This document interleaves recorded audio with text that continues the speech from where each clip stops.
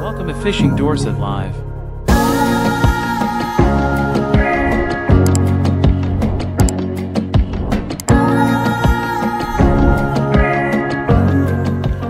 Welcome back to my channel.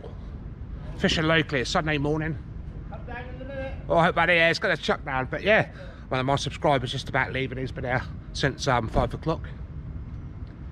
The forecast is grim. The clouds behind me are really, really black. I'm just hoping I can get a hour session and lose my bait up from Friday night. I've literally put the first bin out of bite straight away. I'm just waiting now. All I've got is just ragworm left over. It's literally blown out as well.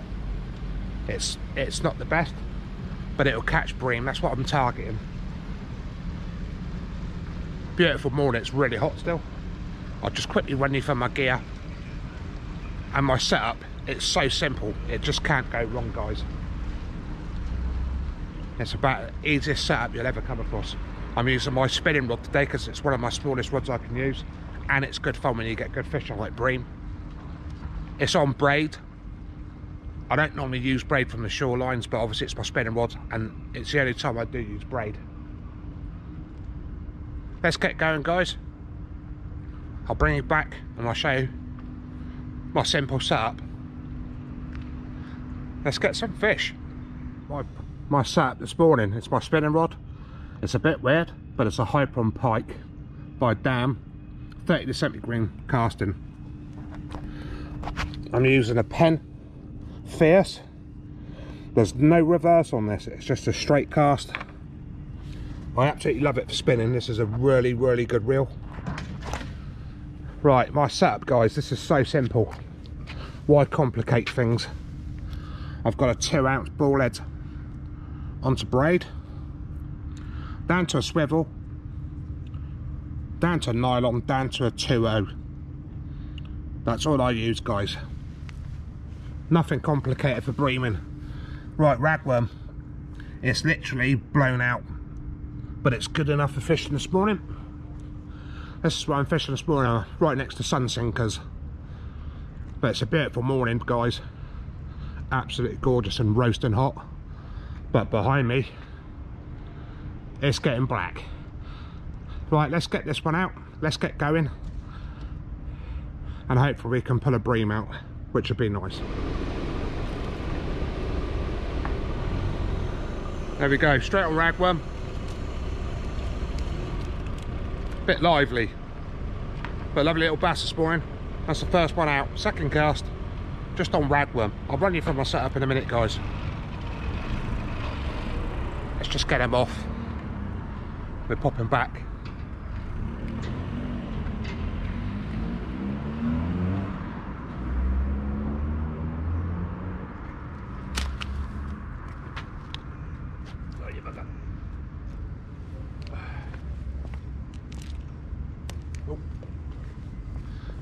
There we go. That's a good start.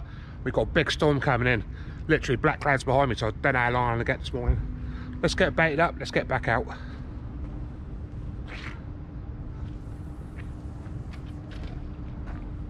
Nothing complicated. Don't overcast it. Just a gentle flick out. Let it sink. Tie it down. That's it, guys. There's no need for casting. Down this way.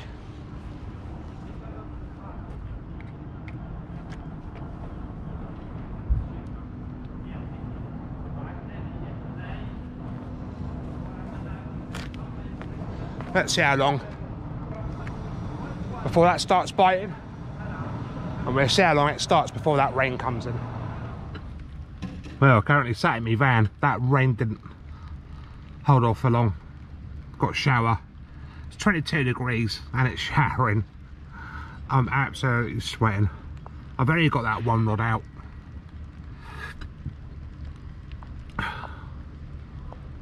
Just hopefully it's just like quick showers. I'm still fishing, I'll still carry on. I'll probably get a bit wet, but I can change my clothes when I get home, so it's no biggie. Obviously, I've brought no waterproofs with me because it's absolutely boiling hot. and I'll probably get wetter on the inside than the outside.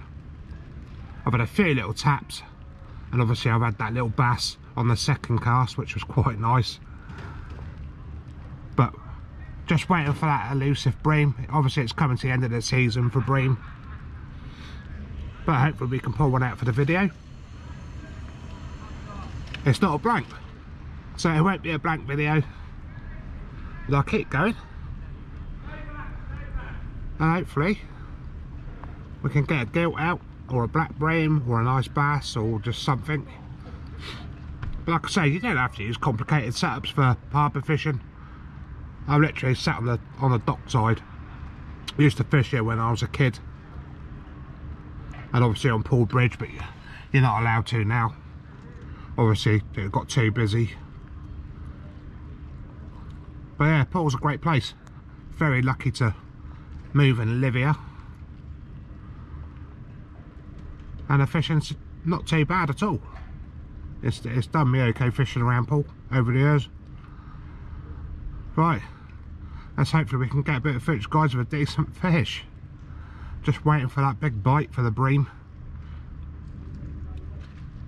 But don't forget, like and subscribe guys, it's totally free. Leave any comments. I've also had a lot of questions about my tripod. I've had this tripod for over 30 years. It's gold and purple. If anybody actually knows what make it is, leave a comment guys. It'd be nice to know. Um, I can't remember where, I bought it from. I honestly can't. But I've got a rough feeling it might be at Ian Gold's. I'm not 100% sure. But if you know guys, leave a comment. It all helps. There's an absolute massive mullet just coming here. I don't know whether you're going to see it guys. It just disappeared absolutely massive mullet just cruising around water clarity is absolutely really clear. Well it's not too bad. It's not as clear as it could be but it is quite clear if you get me. I'll see if I can get the footage guys if he comes back. Obviously the shadowing's a bit harder. But yeah absolutely beautiful mullet just cruising around there. Well we're sat here waiting for shower to stop. I'll just go into a little bit of um, information about my fishing background, guys. When I was young, I used to do a lot of trout fishing. Obviously, I'm from the Cotswolds.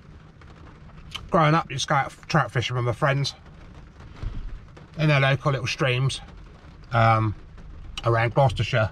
Absolutely loved it. Absolutely brilliant childhood catching trout.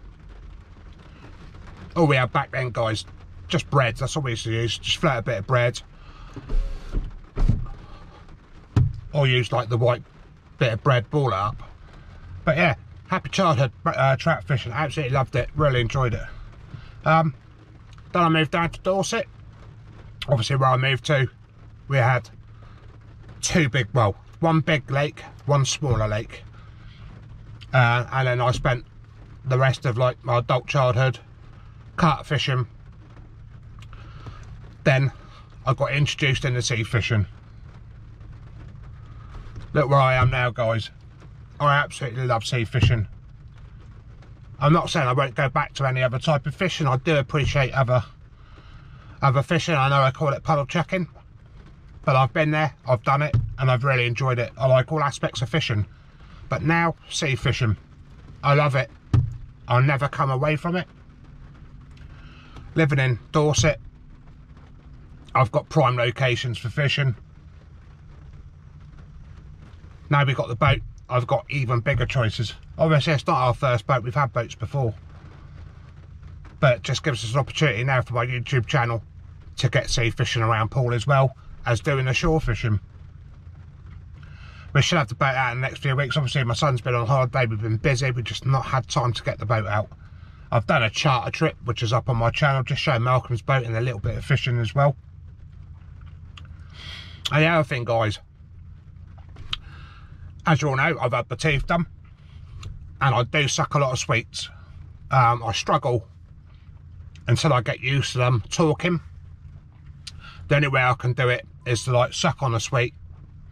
It helps me talk better. Um, it makes me gag a little bit, to be honest. But as soon as I get some like a sweet in my mouth, I can sit there sucking on that. It's all good, guys. So apologies if I'm talking with a sweet in my mouth, but that's the way I've got to do it, guys. Until I get used to them. But back to my good looking self. Sounds like the rain stopping as well. But I think we've got showers all morning. But I'll carry on fishing. I'm only here for a couple of hours. I'll, I'll give it a good sesh. Just to use that bait up. I'm not going to waste it. Obviously, bait's not cheap these days. Right, let's get back in a bit of fishing. There's a little look into my background of um, my life on fishing. Bit of knowledge. Here we go guys, fish on.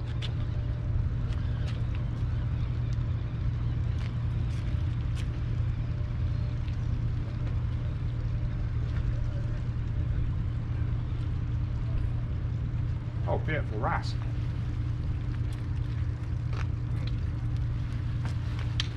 Absolute beautiful wrasse there, guys. Beautiful bike. Look at that. That's perfect condition. Like I say, that's just straight on ragworm, guys. That's a beautiful, absolutely beautiful wrasse. Look at the colours. Absolutely beautiful. All right, let's get them off, guys. If I get this one back. There we go. Absolute beautiful wrasse there. Let's get him back. Hopefully we get a nice one. That's happy days. That's not too bad. It's a bass and a wrasse this morning. We'll keep going. Let's see what happens. I could have got it on camera, guys, but like always, you put the camera on the bike stop. Let's put it back on the tripod. Yeah, he's not there. He's not there at all. But the rain stopped. It's probably nicked all my bait. Right, let's check it. I, I expect they strip. Oh, there we are. Right.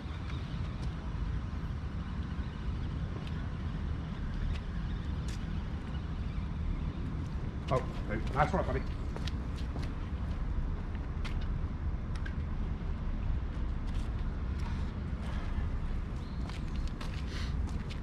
I've done a lot of salad about at the moment. It's not too bad though with a little weight on.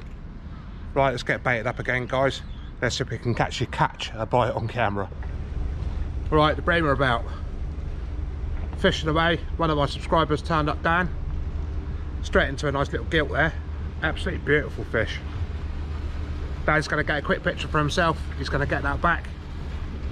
Let's hope we can pull one out, guys. That's my target today. Whether it's a big one or a small one. I'll give this back to Dan. Well done to Dan.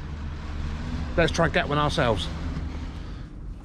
All's gone quiet so far. What I'm going to do, I'm just going to make my trace just that little bit longer. I'll show you the process if you can actually see it. What I'll do is to the swivel. It's been shown loads of times on YouTube, guys, absolutely loads of times. But what I'll do, let's just show you. So, what I do, put the line through, and I wrap it round four or five times like that then what I'll do. I go back through the bottom and then I go back through again like so and then wet it. Pull.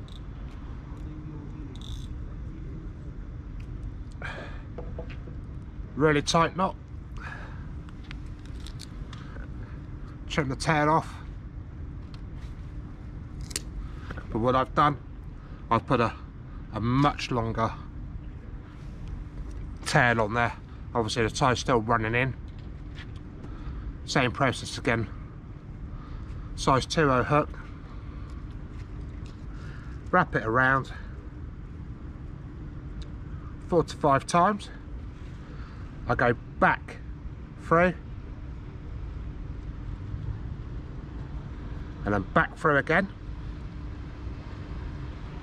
Wet it. Gently pull. Cut the tail off.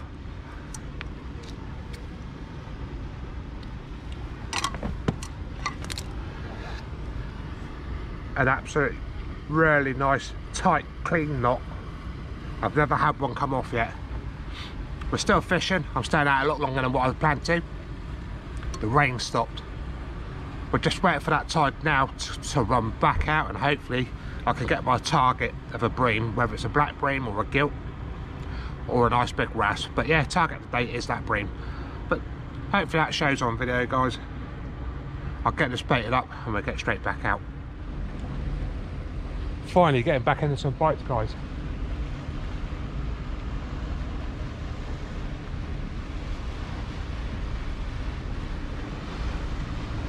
feels more like a wrasse wrasse bite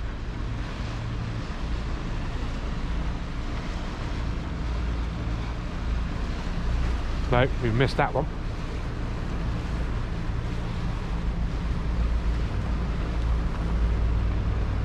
Maybe back I put a real smelly dead rag on there. Instant straight bites. Beautiful old sailing ship coming out now Look at that. Really nice old sailing ship there.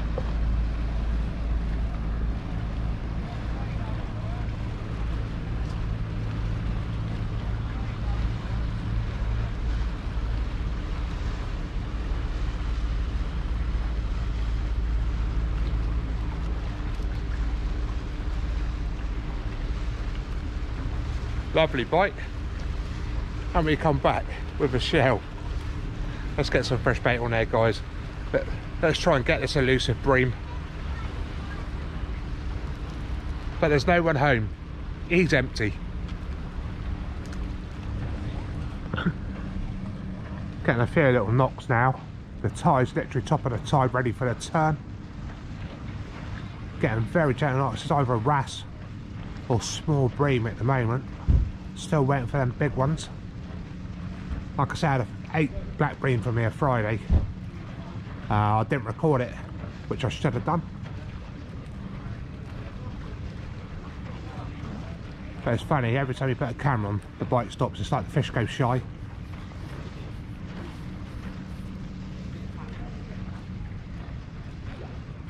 But I say, I've, I've been out more than a couple of hours now. It's, it's not been the best session, but I've not blanked. I've had a those couple of fish out. I'm still waiting for that bream. Don't care what size it is, just any bream. Feels like the rain's just starting to spit again. So we could have a big shower coming back over. I'll keep going though.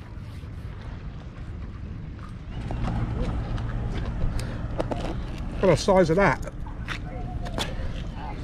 That's my foot.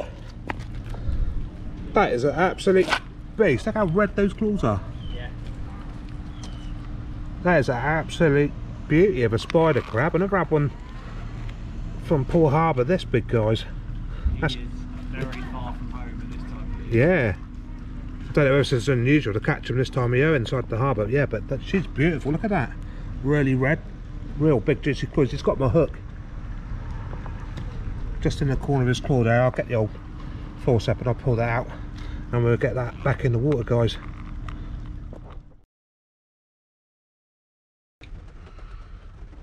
And I start calling it a day.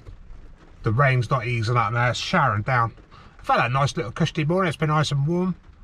Had a cut of fish out, had loads of bites. I've still got the rod out, but I'm going to do an outro now, it just, just in case I forget. But massive thanks for watching guys. Really appreciate it. Leave a like, leave a comment if you enjoy. I've had a couple of fish out this morning, nothing massive. But it's just using a ragworm I have from Friday night. It just saves wasting it. Um, I normally give it to friends, but everybody's obviously got other plans. But I've used it myself Sunday morning. So don't forget, guys, hit a like. If you're not subscribed, hit subscribe. It costs absolutely nothing. And many thanks for watching, guys. We'll see you on the next one.